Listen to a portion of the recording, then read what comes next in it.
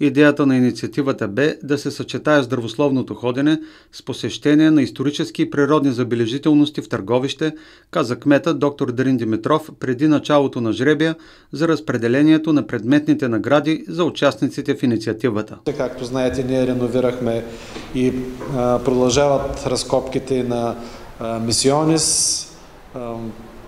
Вече е много хубаво път е оправен към Мисионис и се включиха 31 участника. 31 участника, които изминаха над 10 000 крачки. Е, имаме и победител, господин Иван Иванов, който е минал 42 000, 41-42 хиляди крачки.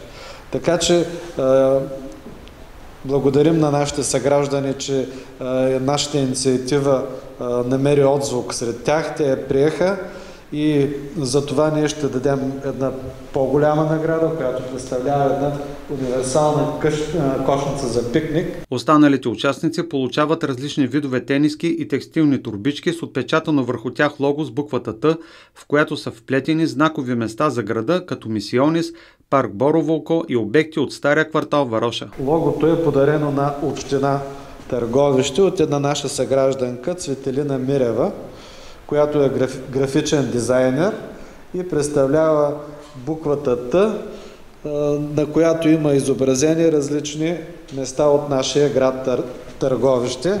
Нещо уникално и интересно така че другите участници ще получат тениски и други награди, които са с логото. Най-посещаваните от участниците места в рамките на инициативата са мисиони с парковете Борово око и Роден кът и квартал Вароша.